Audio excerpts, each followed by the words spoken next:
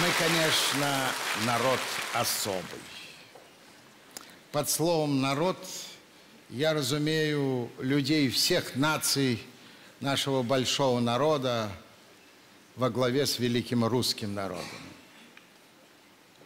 Закалка у нас, наверное, особая. Жизнь всегда трудная была. Вот народ и закалялся. Все время ведь звучал этот вопрос, как выжить, как решить неразрешимую проблему. Как оно, что? Выносливость в себе развивали, что ли? Силу воли, находчивость нарабатывалась. Наверное, так. Ну, мы люди простые, как говорит один мой персонаж, я уже в образ вхожу. Возьмем простые примеры. Вот за границей, что они там пьют? Ну, вино, ликерчики со смородинкой, с клубничкой. Вот одна француженка пришкандыбала к нам, гурманка, и смешала французский коньяк «Наполеон» с нашим коньяком «Кутузов».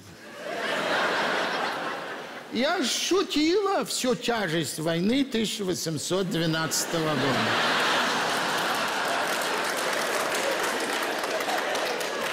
А у меня закалка, да.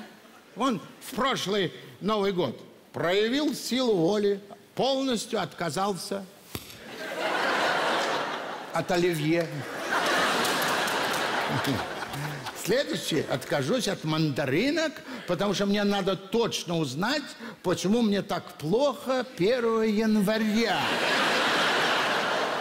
Все эти заграничные штучки мы знаем наизусть. Виски со льдом вредят почкам, джин со льдом вредит печени, ром со льдом вредит мозгу. Этот чертов лед невероятно вреден.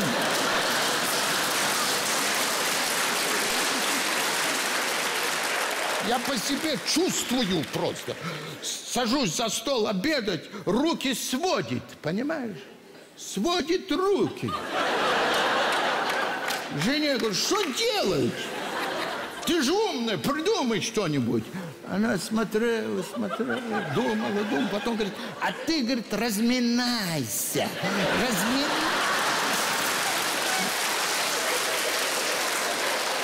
Страшной силы. Надо же такое придумать, а? У нас придумщики, дай Боже. Он у меня приятель говорит жене, ночью главное, попрыгай по кровати, пусть соседи думают, что мы сексом занимаемся. А утром она ему уже говорит, постучи ложкой по тарелке, пусть думают, что ты завтракаешь. Надо ж такое придумать, а? Это ж потрясающе. У нас все находчивые от мала до велика. У меня бабки 83 года. Работу на дом взяла. Да? Секс по телефону. Я случайно узнал. Она громкую связь включила, чтобы у нее руки свободны были. Она в это время вяжет она. Захожу в комнату, сидит в кресле, расслабилась челюсть в стакане, ноги в тазике себе парит, кипяточку подливает и постанывает.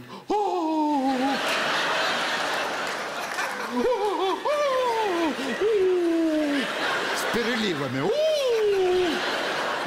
Холосо.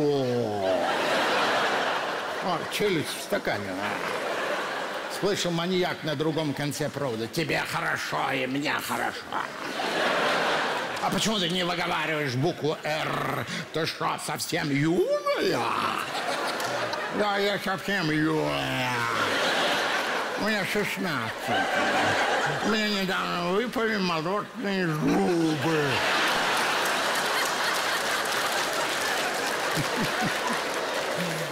Да, так что у нас все находчивые. Он, возьмите эту Турцию. Почему мы туда едем? Потому что там все включено. Ну, нам и этого мало. Да. Один наш турком каждое утро на нервы действовал. Он приходил на шведский стол в шароварах. на шароварах здесь резинка, да. Туда продуктов помещается по самые помидоры. В этом отеле выпендрилась горничная. На постели выложила из э, полотенец лебедей. Ну, наши в долгу не остались, на той же постели выложили из окурков слово «спасибо».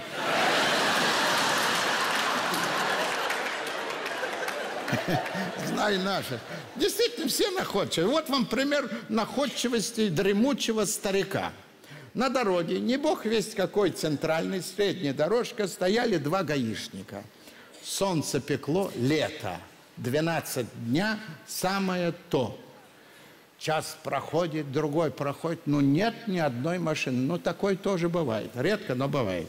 Значит, домой с пустыми руками уходить не хочется. Видят, телега едет.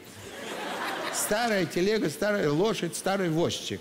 Слушай, ну давай хоть его остановим. Ну, может, что перепадет, может, просто разыграем. Предъявите документы. Дед, поднимая хвост лошади, сказал, посмотрите в бардачке.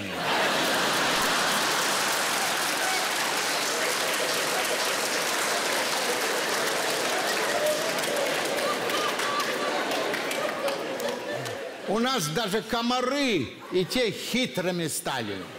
Да, подлетают, садятся на постель, дальше пешком идут, чтоб слышно не было. У нас все остроумные. Он один у входа на свою дачу написал, значит, объявление.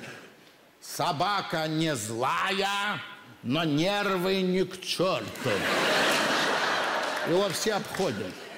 Даже вот те, кто по-русски плохо разговаривает, научились у нас находчивости. Да, точно, я уверен. Я сам видел на Восточном базаре ценник на колготках. Женский трус с длинным рукавом.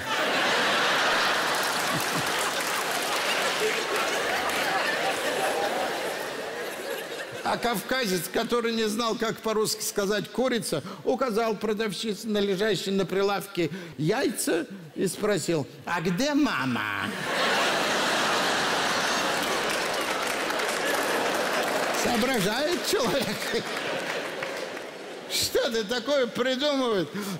Недавно додумались. Сели, значит, трое парней вообще э, на мотоцикл сели подряд вот так, не с коляской, а вот так, как на лошади. И едут. Ну, гаишник возмущается, машет жезлом, свистит, останавливает. А этим хоть бы что, дуют мимо. Последний пассажир его заметил и закричал ему, ну что мы тебя на голову посадим, что ли?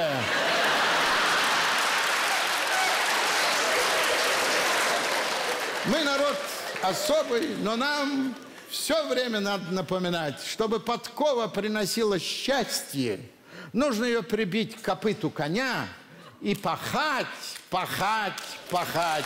Вот это мы часто забываем. Ну, что ты будешь...